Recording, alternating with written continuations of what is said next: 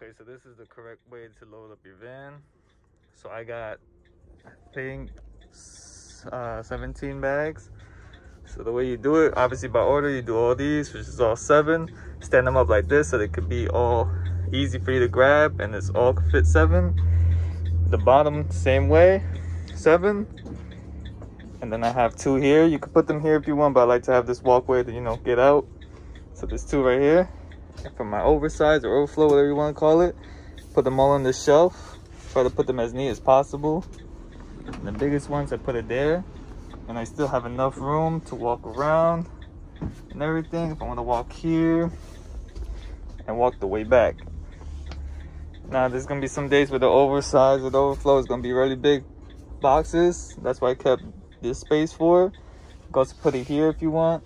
I can move these bags over here and put them over here, but that's the correct way to really load up your van. If you have more than 17 bags what i like to do is for the first bag i like to put everything here when i'm loading up my warehouse. And i put the bag away so there therefore is one less bag space. Because originally i was supposed to have i think 18 bags. And since i took one out it's no more 17 and when you have let's say 20 and i would like stack two here keep it like that. And this is the best way to load up your van because look you got a lot of space to walk.